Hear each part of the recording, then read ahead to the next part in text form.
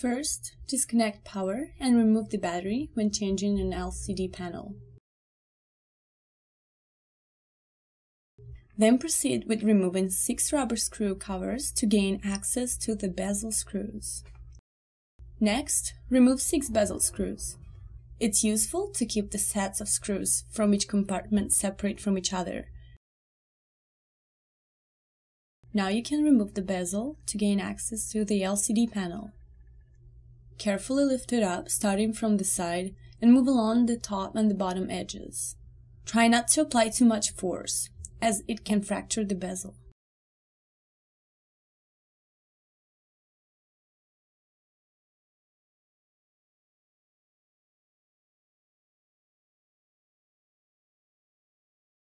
Now, remove three mounting screws on each side bracket of the LCD panel. Do not confuse the mounting screws with the hinge screws.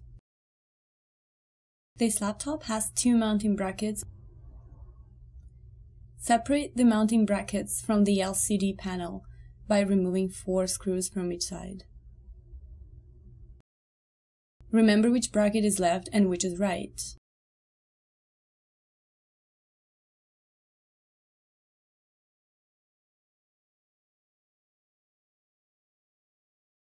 Flip the screen over and put it on the keyboard.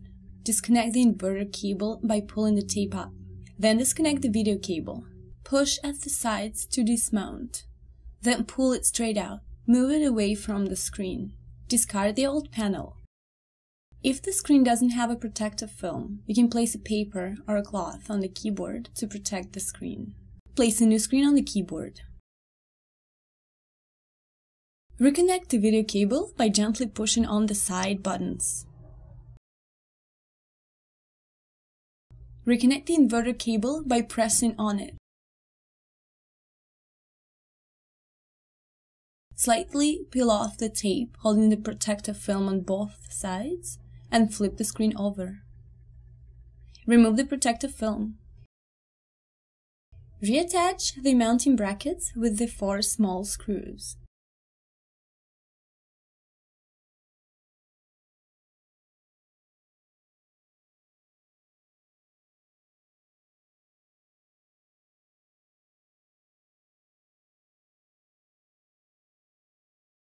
Once the brackets are secured, replace the three mounting screws.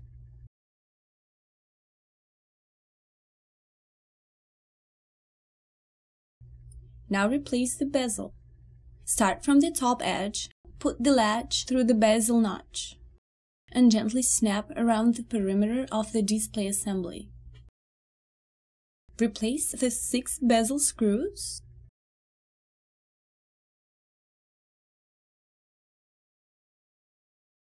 and finally put on the screw covers.